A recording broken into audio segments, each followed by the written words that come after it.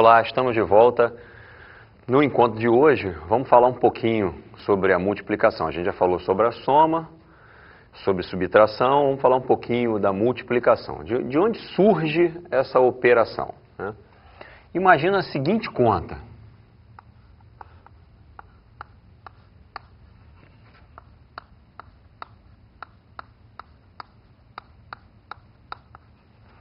Isso aqui é uma sucessão de somas em que eu estou somando sempre a mesma quantidade. Então, estou somando 4 mais 4 mais 4 mais 4 mais 4, e o 4 aparece nessa sucessão de somas cinco vezes. Então, para evitar que eu escreva essas coisas de maneira muito extensa, se eu tivesse que fazer isso com 4, 20 vezes, né, para evitar essa, essa escrita cansativa, a gente acaba transformando isso numa nova operação, que é a multiplicação. Então, eu posso entender a multiplicação dos números naturais como uma repetição de somas feitas com o mesmo número. Observa que se esses caras fossem diferentes, né, 4 mais 3 mais 5 mais 7 mais 1, eu não poderia recorrer a essa simbologia mais enxuta. Né? É, mas como aqui os componentes da minha soma, ou seja, as parcelas, né, elas são todas iguais, eu posso transformar isso num, num modelo mais enxuto, numa coisa mais econômica, né? e isso aqui é a multiplicação do 4 pelo 5. Eu posso entender né, a multiplicação de números naturais como sendo uma soma que foi encolhida numa nova operação. Né? Agora, observa, isso aqui a gente já sabe aqui, que o resultado é 20. Nota que se eu tivesse feito 5 mais 5 mais 5 mais 5, essa soma aqui não é a mesma que essa aqui. Né? Eu tenho 5 aqui aparecendo quatro vezes são, são outros componentes da minha soma. A quantidade de parcelas é diferente e as parcelas são diferentes. Né? No entanto, eu estou fazendo aqui 4 vezes 5, o resultado acaba sendo o mesmo. O resultado dessa adição acaba sendo o mesmo. Essa é a primeira propriedade que a gente tem a respeito da multiplicação. Né? A, a multiplicação, para números naturais, ela é comutativa. A gente vai ver que com os números em geral, né, até os inteiros, racionais, a multiplicação ela é comutativa, mas há, haverá ocasiões dentro da matemática em que essa comutatividade não vai acontecer, como por exemplo lá na frente quando você aprender a multiplicar matrizes ou um certo tipo de multiplicação entre vetores, essa comutatividade não é uma coisa que aconteça sempre em qualquer circunstância na matemática, mas com números isso aqui acontece. Então, esse é o primeiro princípio, é a primeira propriedade da multiplicação de números, é a comutatividade.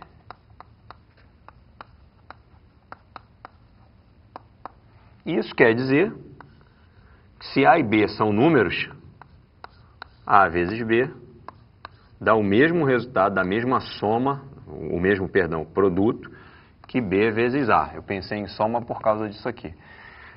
Então, o resultado é o mesmo. Essa é a primeira propriedade. Agora vamos ver uma outra situação.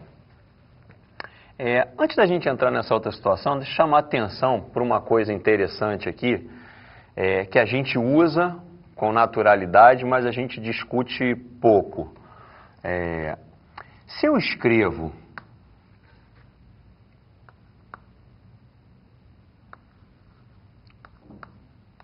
essa expressão aqui, né, nós sabemos que, estou vendo aqui, duas operações, né, uma operação de adição e a operação de multiplicação. E nós sabemos que, por convenção, né, é o combinado, né, que primeiro se faz a multiplicação e depois a gente vai fazer a adição. Então, a execução correta dessa, dessa conta aqui é fazer primeiro a multiplicação, 3 vezes 4, 12, e só então, depois que eu tiver feito a multiplicação, fazer a adição. 5 mais 12, o resultado é 17. E aí entra uma, um, um, uma discussão interessante, que é a seguinte: e se eu quiser né, que você, ao olhar para essa conta, faça primeiro a adição, né, calcule primeiro a soma, para só então fazer a multiplicação, fazer a multiplicação por último. Nesse caso, eu preciso te dizer de alguma forma que eu estou invertendo aquela ordem natural das operações, que é fazer primeiro a multiplicação e depois a adição. Como é que eu te aviso que eu estou trocando a ordem natural das operações? Utilizando os parênteses. Então, quando eu quiser que você primeiro some para depois multiplicar, eu vou colocar essa soma entre parênteses. Então, esse parênteses aqui é um indicativo de que primeiro a gente tem que somar para depois multiplicar. Então, somando primeiro aqui, eu tenho 8, que vai ser multiplicado pelo 4, e o resultado vai ser 32. Né? Então, percebe que os parentes eles não são enfeites, eles estão aqui com uma função é, muito clara. Né? Aliás, né, às vezes eu vejo coisas assim, né, e se a gente parar para pensar, aqui eu tenho uma soma e aqui eu tenho uma soma. Né?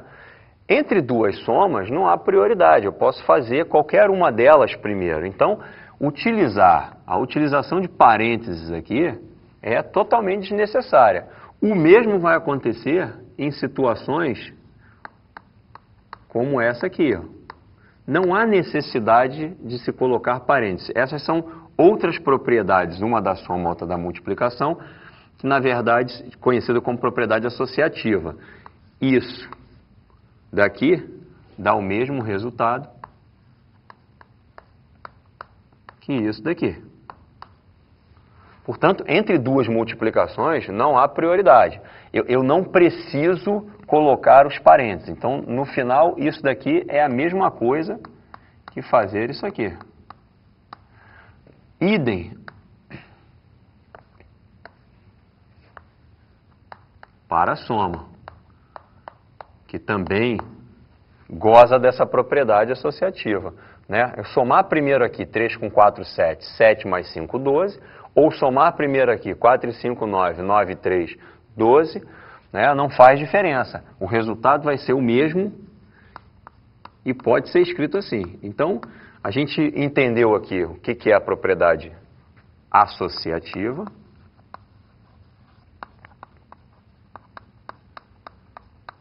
E viu que os parênteses eles têm uma função né, bem definida, né, ele serve para dizer para a gente que eu estou subvertendo a ordem natural das operações. E quando eu tenho operações de mesmo status, né, eu não preciso colocar os parênteses, é desnecessário a utilização desses parênteses.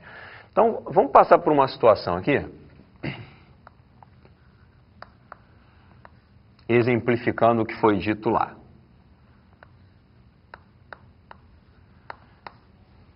Nessa operação aí, primeiro eu vou fazer a soma, e aqui vai dar 7.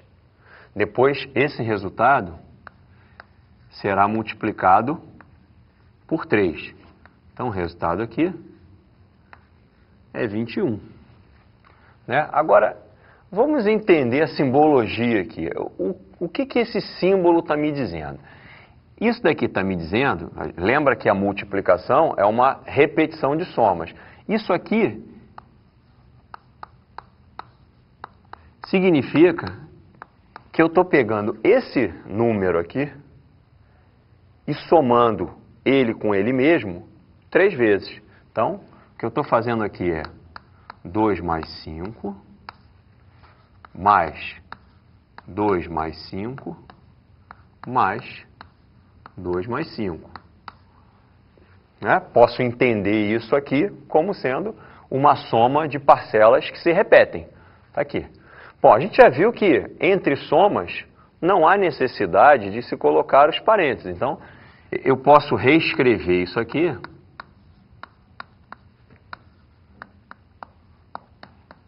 Dessa forma. Vamos agora agrupar os que são iguais. Eu vou trazer esse 2 e esse 2 aqui para perto. e vou juntar lá no final cada um desses 5.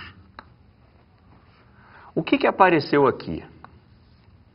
O 2 somado com ele mesmo três vezes. E isso pode ser transformado numa multiplicação. A mesma coisa aqui. Então eu posso transformar também essa soma de 5 numa multiplicação. O que, que a gente mostrou aqui? A gente mostrou que essa expressão aqui corresponde a fazer isso daqui. Em outras palavras, é, eu posso somar primeiro, depois pegar o resultado da soma e multiplicar por 3, ou posso fazer aquilo que a gente já está acostumado a fazer e chamar de distributiva. Primeiro eu faço 3 vezes 2, depois eu faço 3 vezes 5, e essas duas multiplicações eu devo somar. Isso que a gente fez aqui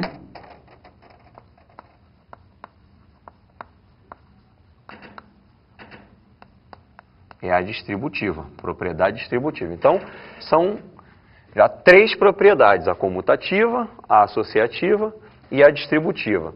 Uma observação a fazer com relação à distributiva é a seguinte, é, essa distributiva aqui, o que a gente está fazendo aqui, a rigor, é uma distributiva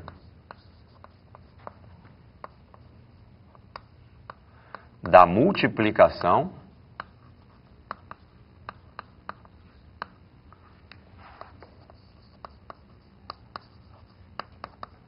com relação à soma. Vamos botar a adição. Com relação à adição.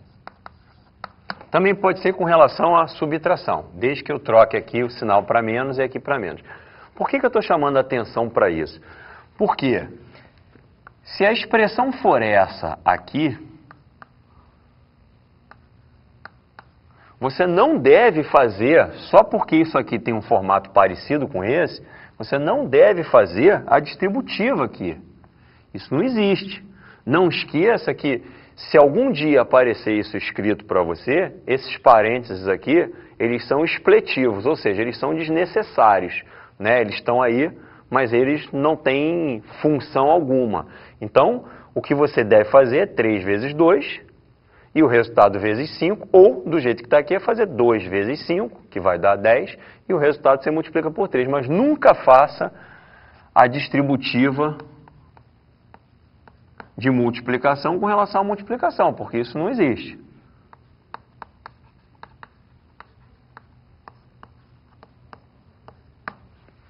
Bom, vamos pegar essa nossa ideia aqui que a gente fez com números e vamos estender para um exemplo com letras.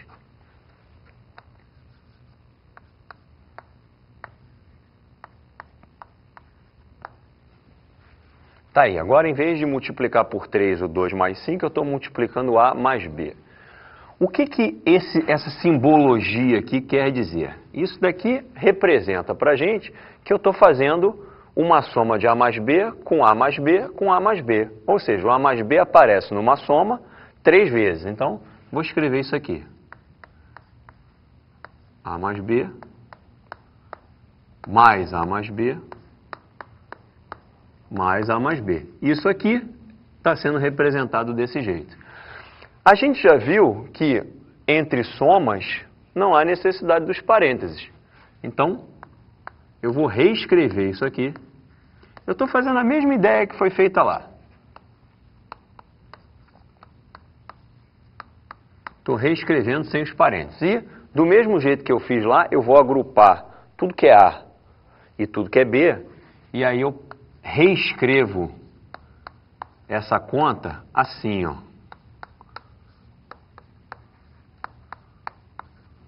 O que, que a gente está vendo aqui? O A somado ao A somado ao A. E isso vira uma multiplicação, que é 3 vezes A. E aqui? A mesma coisa, só que aqui é 3 vezes B. E esses dois resultados estão sendo somados. Observa, isso corresponde ao que a gente está acostumado a fazer, a distributiva. 3 vezes A mais 3 vezes B. Essa ideia, é claro que ela se estende, é, ela funciona, mesmo quando aqui não, é, não vale 3.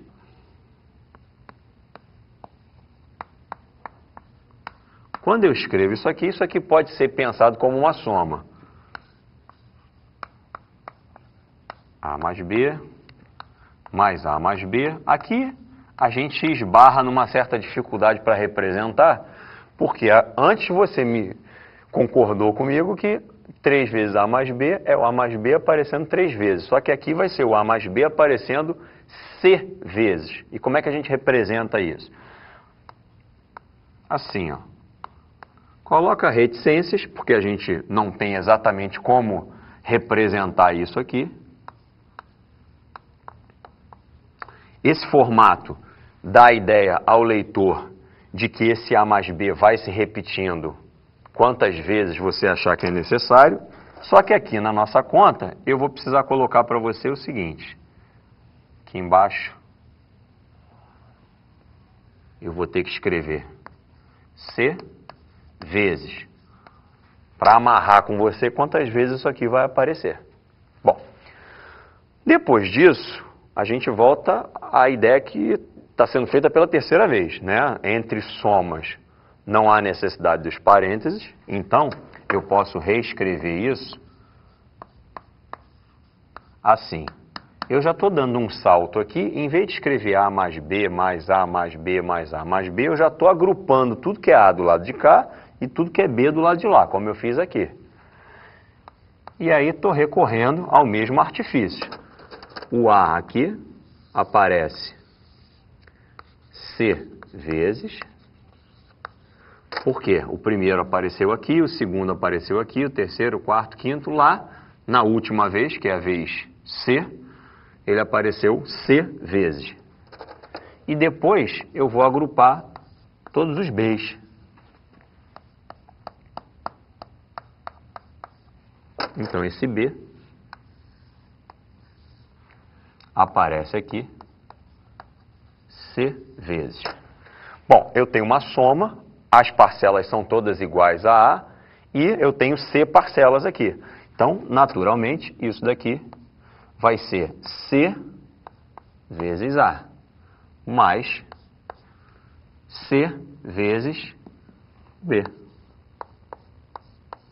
Então, observa que isso corresponde a fazer a distributiva C vezes A mais C vezes B. Está aqui. Vamos para uma outra situação, um pouquinho mais elaborada.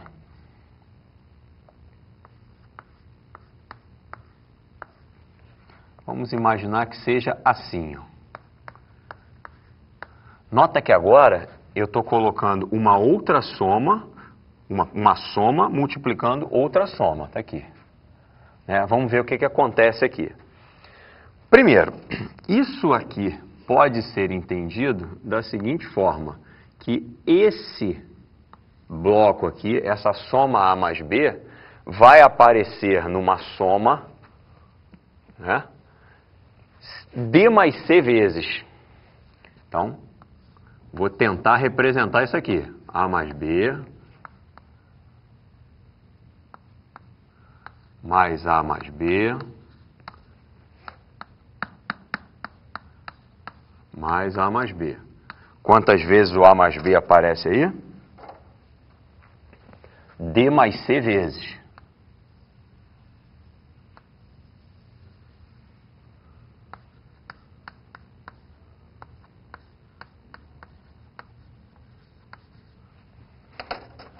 Bom, como entre somas eu não preciso colocar os parênteses, eu vou reescrever isso da seguinte forma. A mais A já estou de novo tomando aquela liberdade que eu tomei aqui de agrupando tudo que era A e agrupando tudo que era B. Então, eu estou pegando esse A daqui, botando aqui. Esse daqui eu estou trazendo para cá e assim por diante, até que o último veio para cá. Quantas vezes esse A vai aparecer aí? D mais C vezes. Mais B. Mais B. Mais B.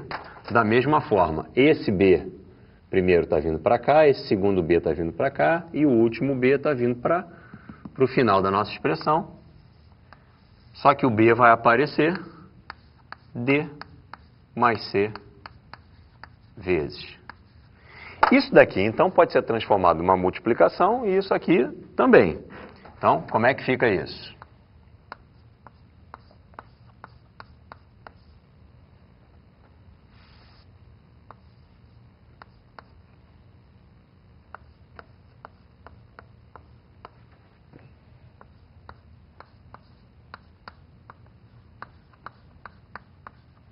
E aí, isso é uma coisa bem bacana. Aliás, eu dei um salto numa coisa aqui, eu pod poderia ter escrito D mais C vezes A, mas eu preferi escrever A vezes D mais C. Só por uma questão de estética, mas o resultado é o mesmo. A gente viu que a propriedade comutativa vai me dar o mesmo resultado. Então, tanto faz escrever D mais C vezes A e D mais C vezes B, ou escrever como eu escrevi. E aí a gente chega num ponto que é bem legal em matemática, né, e é bom que, que a gente esteja treinado nisso, que você está resolvendo uma coisa nova, uma coisa mais elaborada, e no meio do caminho você cai numa situação que você já viu antes, né? num caso resolvido previamente. Isso daqui a gente já mostrou ali no outro quadro, que pode ser tratado com distributivo. Então, pelo que a gente fez no quadro anterior, isso daqui pode ser reescrito imediatamente como A vezes D mais A vezes C e aqui também B vezes D mais B vezes C. As duas primeiras são resultados dessa distributiva do A e os dois últimos a distributiva do B. O que, que a gente mostrou aqui?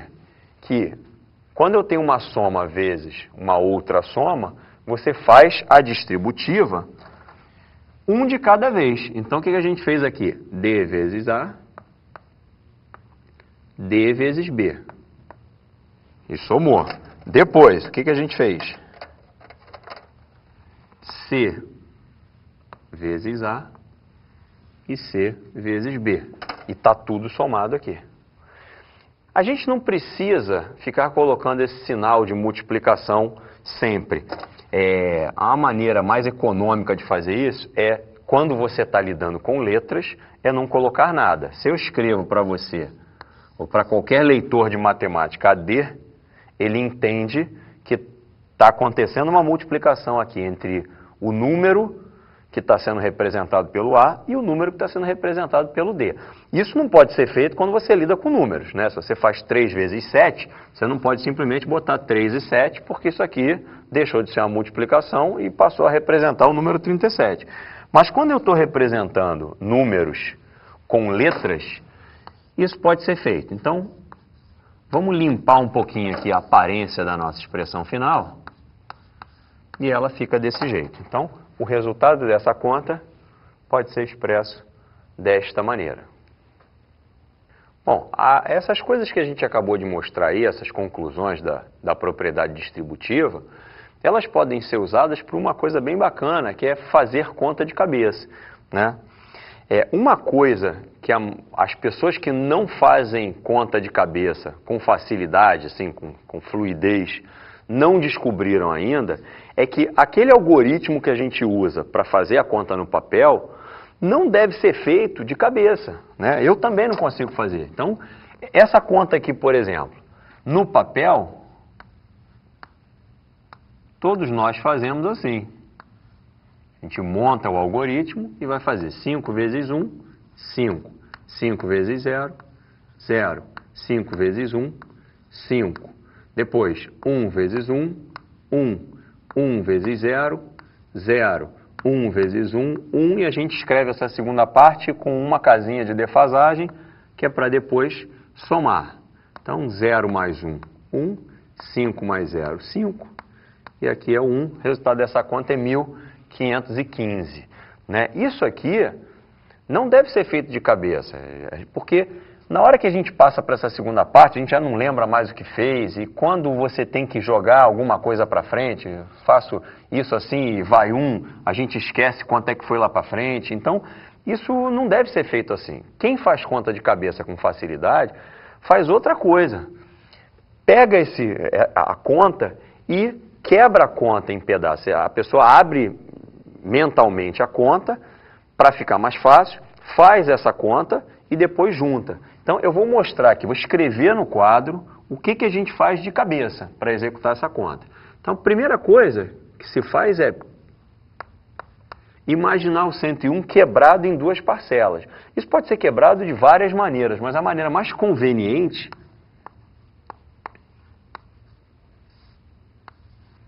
é quebrar o 101 em 100 mais 1.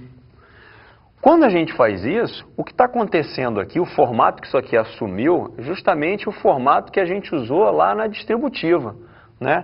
Então, o que, que acontece? Agora, de cabeça, eu vou fazer 15 vezes 100, isso é fácil de fazer de cabeça, assim como é fácil de memorizar. Né? 15 vezes 100 é 1.500. E depois eu vou fazer 15 vezes 1, que também é fácil de fazer de cabeça e fácil de memorizar. Então, na cabeça da gente agora, há dois números guardados. 1.500, que é a multiplicação de 15 com 100, e o 15, que é a multiplicação do 15 com 1. E agora a nossa cabeça faz isso aqui, ó. junta essas duas coisas numa soma, chegando a 1.515. Então, é isso que você tem que fazer para ganhar velocidade nas contas feitas de cabeça. Você abre o número para ficar mais fácil, duas contas fáceis de serem feitas, você executa as duas contas e depois junta outra vez na base da soma ou até da subtração. Tá certo?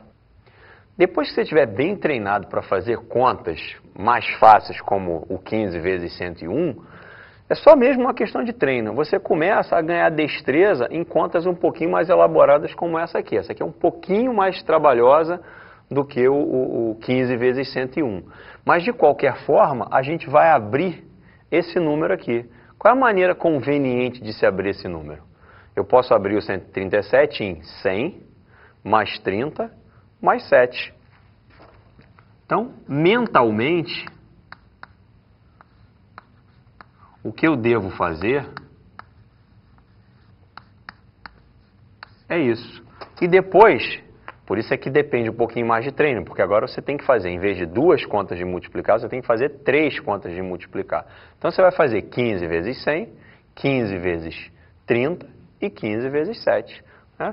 Então, lá na sua cabeça, você vai precisar fazer 15 vezes 100, que é 1.500. 15 vezes 3, que de certa forma, com, quando você tiver essa, essa prática, você vai quebrar do mesmo jeito. Você vai fazer 15 vezes 3 de cabeça, que dá 45, e depois você repõe o zero que está aqui.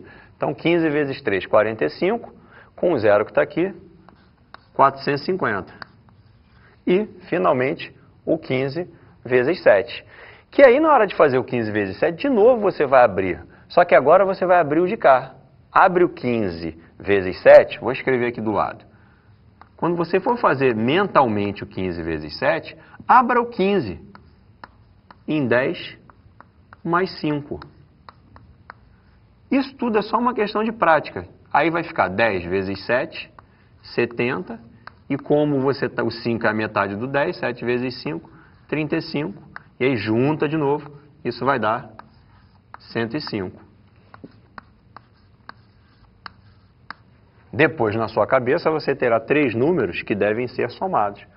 1.500 com 450, isso vai dar 1.950, 2.055.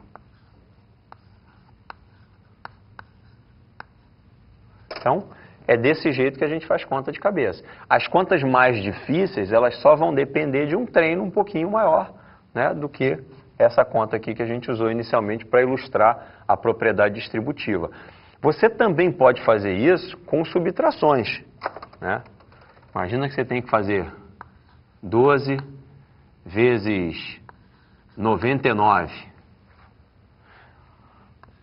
Na cabeça, você vai transformar o 99 em 100 menos 1. E aí fica muito fácil de fazer. 12 vezes 100, 1.200, menos 12 vezes 1. Então você vai fazer de cabeça 1.200 menos 12.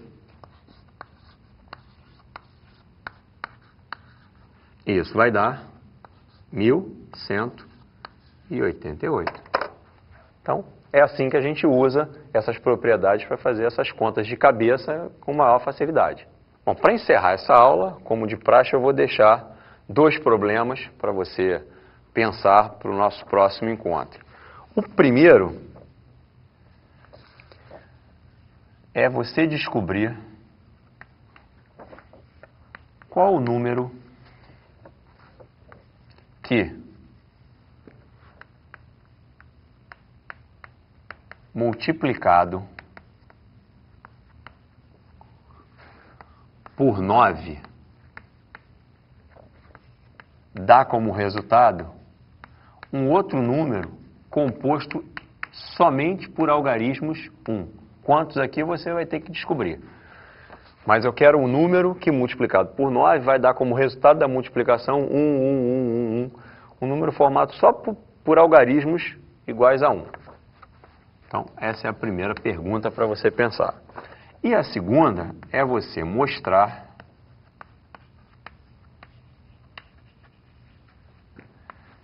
que o número 1, 1, 1, esse 1 vai aparecer aqui nove vezes. Então, eu quero que você tente mostrar que esse número é múltiplo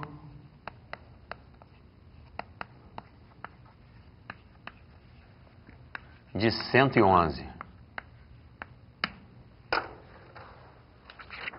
Então, fica para o próximo encontro.